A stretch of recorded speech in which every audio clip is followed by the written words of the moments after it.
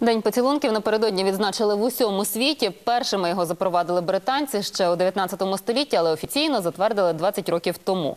У Києві День поцілунків святкували на Майдані Незалежності. Тут за поцілунки роздавали призи і пригощали цукерками. Мету акції організатори пояснюють так. Этому нужно учить молодежь, что такое поцелуй и как им пользоваться. Ведь это не просто средство передачи информации и чувств. Это намного больше и глубже. Вот именно на таком акценте мы сегодня решили сделать вот такой вот удар, скажем так.